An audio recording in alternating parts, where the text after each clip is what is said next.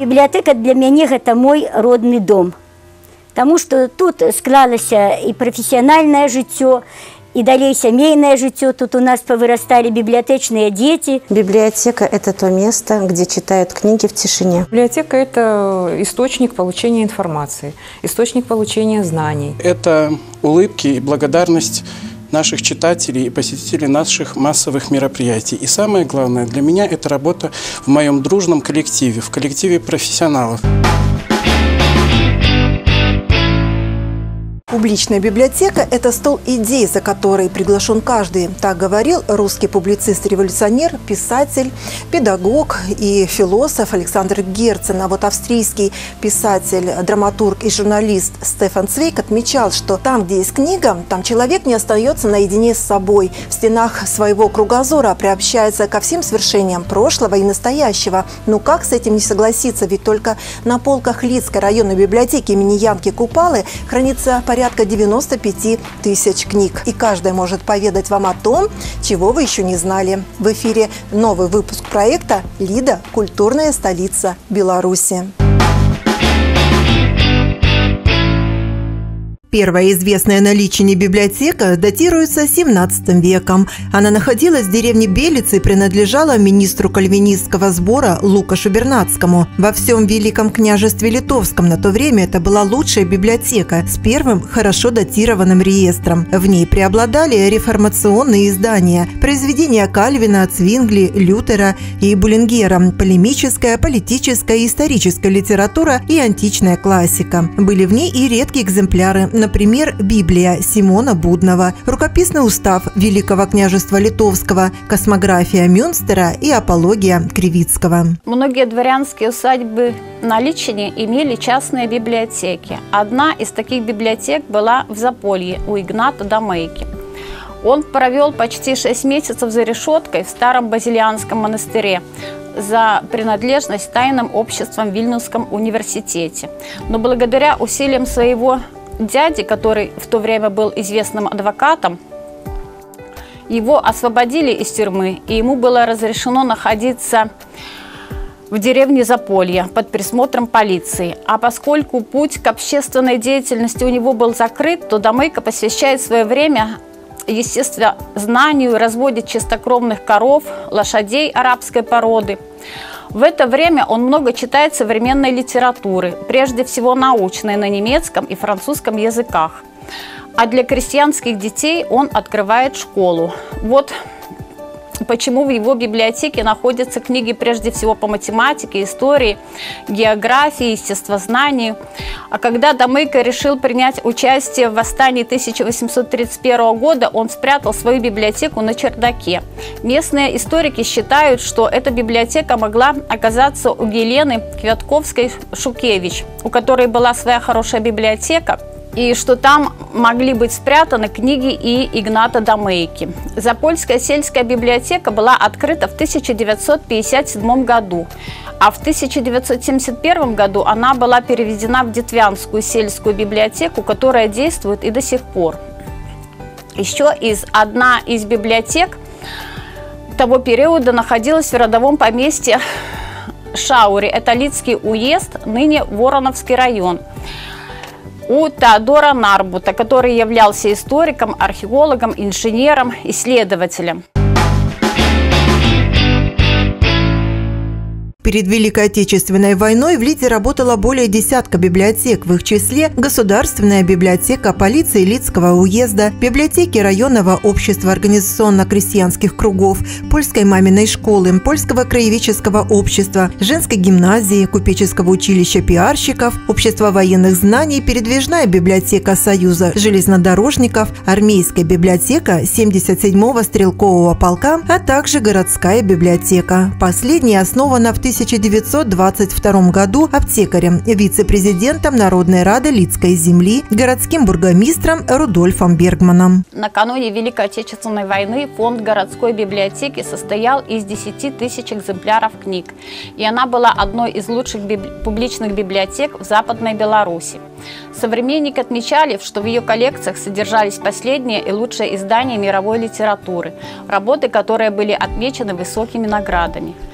В фонде также был целенаправленно выделен раздел краеведческой литературы. Вечером 14 марта 1940 года в городской библиотеке состоялась встреча ее сотрудников, читателей с Янкой Купалой и высокими гостями из Минска, к которым позже присоединились Валентин Тавлай, Нина Тарас, Иверс и другие местные поэты. На этой встрече Янка Купала подарил библиотеке книгу «За ракой Арезой». Это была первая белорусская книга в городской библиотеке. До сих пор там были польские и еврейские книги.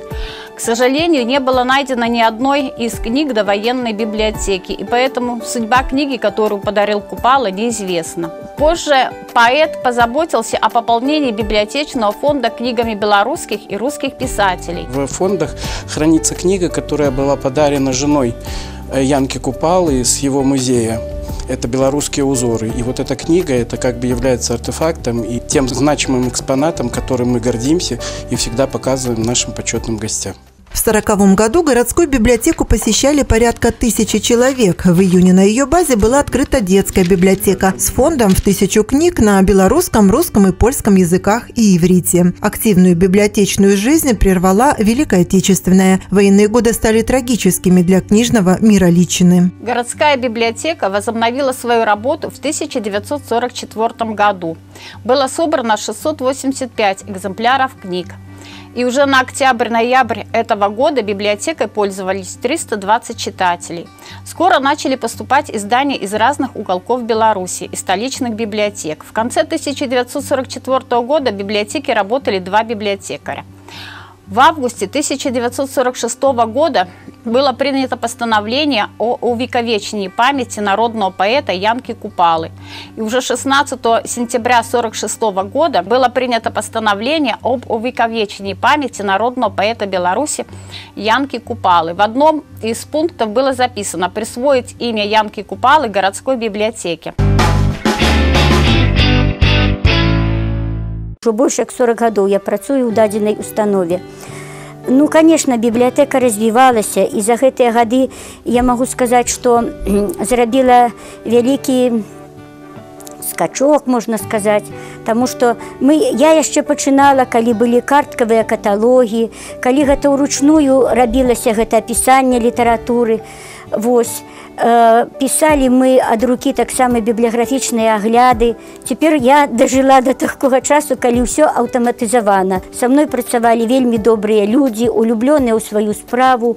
Э, вось кожнае дзесяцігоддзя несла нешта новае і кожнае дзесяцігоддзя бібліятэка стварала нейкія новыя рабіла нейкія новыя, дасягненні.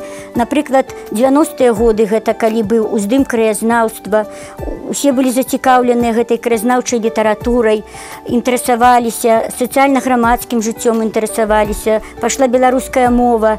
Мы як бібліятэчныя работнікі працавалі, шукалі гэту бібля... краязнаўчую інфармацыю, збіралі, захоўвалі і даводзілі да чытачоў. Если вы воспринимаете библиотеку просто как полку с книгами, вам она может показаться старой и несовременной в мире, где большинство, но не все книги существуют в электронном виде. Те же, кто побывал здесь не раз, отмечают, что мир библиотеки – это удивительный мир. Когда ты попадаешь в эту среду, она проникает в тебя глубоко, особенно когда ты имеешь дело с настоящими подвижниками. Работа в библиотеке для меня – это в первую очередь ежедневный кропотливый труд плоды которого – это наши награды в победах за многочисленные конкурсы областного и районного уровня. Конечно же, это улыбки и благодарность наших читателей и посетителей наших массовых мероприятий. И самое главное для меня – это работа в моем дружном коллективе, в коллективе профессионалов, людей, которые отданы своему делу, которые любят свою работу, знают свою работу, решают поставленные перед ними задачи в сроки и вовремя, несмотря на трудности и сложности, которые у нас встречаются. Профессия библиотекаря никогда не была предметом мечтаний карьеристов. Это скорее работа и очень осознанная людей, несущих высокое знамя культуры. Сегодня они стремятся к тому, чтобы библиотеки меняли свой формат, преобразовываясь из книгохранилищ во многофункциональные культурные и творческие центры, посещать которые будут люди разных возрастов, интересов и профессий. Наличие 19 библиотек, Лицкая районная библиотека имени Янки Купалы, 6 ее городских филиалов, детская районная библиотека и 10 сельских библиотек, в числе которых 9 библиотек агрогородков и Березовская городская библиотека. Колесит по району и библиотека на колесах или библиобус. Все они проводят многоаспектную и системную работу по привлечению к пользованию библиотечными услугами, и это дает результаты. Ежегодно библиотеки Личины обслуживают более 30 тысяч читателей. Более 7 тысяч из них – читатели районной библиотеки. Чтобы поддержать читательский интерес, Лицкая районная библиотека имени Янки Купала и ее филиалы обновляют не только фонды. Библиотекари еженедельно проводят различные мероприятия. Встречи, беседы и дискуссии на литературные темы для детей и взрослых. Пользуются спросом у читателей и литературно-музыкальные вечера, презентации, круглые столы, видеочасы, библиошоу и пресс-марафоны. В 2019 году только Лицкая районная библиотека реализовала более трех десятков проектов, в том числе и пять благотворительных благотворительных, еще более десятка проектов на счету ее филиалов. Хочу сказать, что мы, э, как библиотека, как государственное учреждение, всегда занимаемся благотворительностью и принимаем благотворительность, потому что фонды нашей библиотеки ровно так же пополняются дарами. У нас есть такая акция «Подари книгу библиотеки». Если у, ваша, у ваших бабушек, дедушек, у вас дома есть книги, которые прочитаны, либо вы считаете, что они для вас не востребованы, не нужно их выбрасывать, сдавать в макулатуру. Библиотека готова приехать приехать, взять эти книги. Также мы занимаемся благотворительностью. Например, у нас есть э, книги, которые также закупаются за собственные средства. Мы предполагаем и делаем такие акции, как дары книг. Э, в первую очередь это Минойтовский дом-интернат для психоневрологических больных, больница дневного пребывания для людей пожилого возраста. Там мы организуем выездные мероприятия, выставки, литературные вечера. И ровно так же каждый год мы стараемся, чтобы э, это учреждение от нас в дар их библиотеки чтобы их фонды также пополнялись, мы дарим книги. Не раз гостями мероприятий в Лицкой районной библиотеке имени Янки Купалы становились краеведы, писатели, журналисты, представители редакции газет и журналов, музыканты, библиотекари, педагоги, работники типографии и священнослужители не только Личины, но и других регионов Гродненской области. Самых брендовых можно назвать э, наши Э, уже седьмые в этом году Лидские чтения, научно-практическая конференция, на которых поднимаются актуальные темы. И в этом году это, конечно, 75-летие Победы. Наш постоянный проект брендовый – это «Взрослые детям» называется э, такой проект, который был до прошлого года он был районным, в этом году он стал региональным. Внесли изменения в положение. Э, в этом проекте взрослые люди, которые пишут, писатели, которые увлекаются прозой, поэзией, присылают на конкурс именно детскую детские произведения, которые написали сами. Комиссия их оценивает по двум категориям, это поэзия и проза. И, соответственно, после этого ну, победителям вручаются награды, раз уж это конкурс и уже региональный. И мы сами самостоятельно издаем эти произведения и пополняем фонд детской библиотеки и, конечно же, библиотек, где есть наш детский читатель. А он есть во всех библиотеках. Смело можно утверждать, что библиотека – культурный центр для людей разных возрастов. В филиале Лицкой районной библиотеки, детской библиотеки, для юных читателей собран богатый книжный фонд. В нем более 31 тысячи экземпляров. Это детская литература, лучшие произведения белорусских и зарубежных писателей, энциклопедии, словари, справочные периодические издания. Также для привлечения молодежи в библиотеке внедряются интерактивные формы работы, презентации, флешмобы, промо-акции, работает клуб «Крыничка» и организован информационно-образовательный центр. Она комплектуется в первую очередь. Художественная литература, программная литература. Большим спросом пользуется белорусская литература, новые какие-то авторы. Программа, она же меняется. Почти каждый год э, появляются авторы э, новые внеклассное чтение. Поэтому очень, вот, белорусская литература очень востребована. Чтобы библиотека была интересной, считают лидские библиотекари, нужно заботиться о нескольких аспектах ее деятельности. О пространстве оно должно быть удобным, интересным и достойно оформленным. О разнообразии мероприятий их линейка должна создавать не одну точку притяжения для современных библиотечных пользователей. И о фондах. При их формировании нужно учитывать не только интересы посетителей, но и сближение бумаги и электронных ресурсов. Тема пополнения фондов, она всегда остается актуальной, потому что в соответствии с поручением президента э, мы выполняем 12% норматив по комплектованию фондов, который заложен в программе «Культура Беларуси». Это огромное и замечательное подспорье для нас, как для библиотеки, потому что определенные бюджетные средства, которые выделяются э, для того, чтобы пополнять фонд, они направляются как на социально значимые издания, так и на литературу общего спроса. В прошлом году мы благодаря э, этому нормативу приобрели книги шрифта Брайля –